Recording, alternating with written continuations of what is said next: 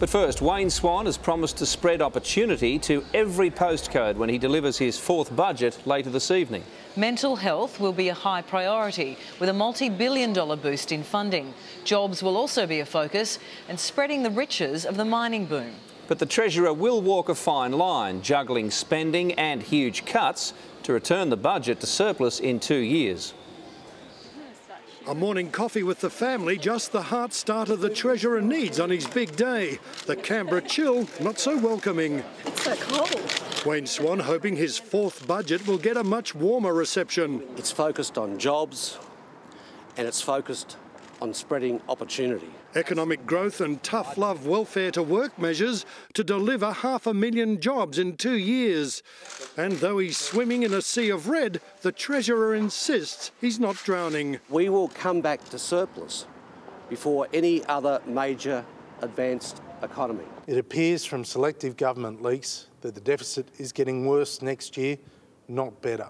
This year will see a record $51 billion deficit, shrinking to 16 billion the next year and hitting the black the year after. The signature item, mental health. Mental health is a priority for the government. A $2 billion package will deliver on that pledge. As so often happens in budgets, a relatively modest $300 million program to fund digital set-top boxes for pensioners is attracting some flack. The opposition says it's wasteful already. Handing out set-top boxes to pensioners when the pensioners are struggling with higher food prices shows a government out of touch. The government will not sit by and watch pensioners left in the dark in the middle of the digital switchover. He says 38,000 pensioners have already got their boxes in a scheme that's working well.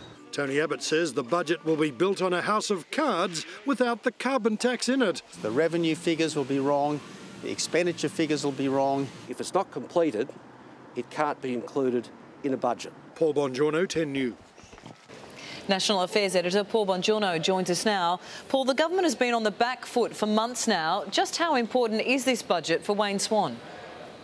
Well, there's a lot of pressure on Wayne Swan tonight. It's critical not only for him, but for the government. It's been on the back foot for the, for the last couple of months, and it's looking for a circuit breaker in tonight's budget. As the Prime Minister told her party room yesterday, Tony Abbott's been setting the agenda with the carbon tax and asylum seekers. The government will be hoping tonight that Wayne Swan's able to move the focus back onto jobs and the economy. Paul Bongiorno, thank you. And we'll have the federal budget covered tonight on 10 with a special edition of the late news. That's at 10.30.